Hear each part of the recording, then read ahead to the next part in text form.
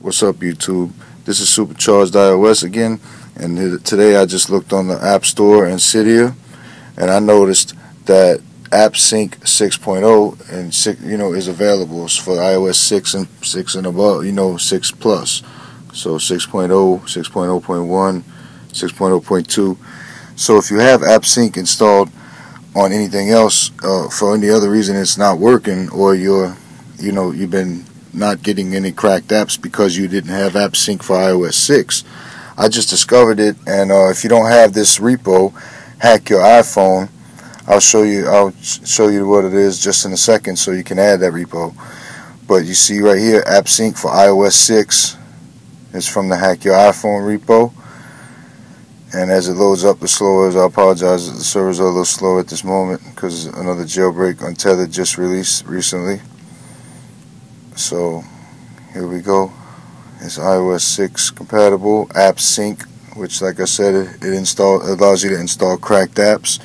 In order to get it, you're gonna have to add this repo, hackyouriphone.org. So when you get to your where your sources, so you when you come, I'll just uh, back you out if you don't know, if you're just getting into this or whatever. Okay, when you first load up Cydia, you want to first go to Manage, and go to Sources, go to Edit right here, and then go to Add, and you want to add that repo that I just told you, which is Hack Your iPhone repo hack dot hack your. So you want to add Edit Add repo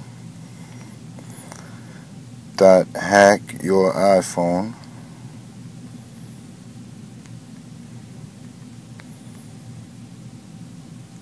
org.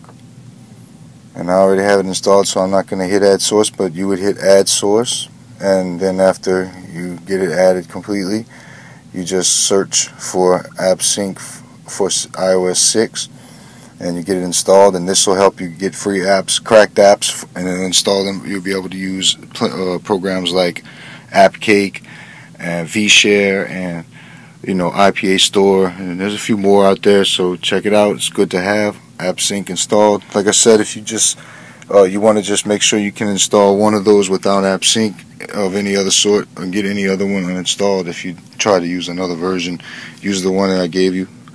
And thanks for watching. I hope you liked this video. I hope this was helpful. And uh, thanks for watching again. Thumbs up and subscribe.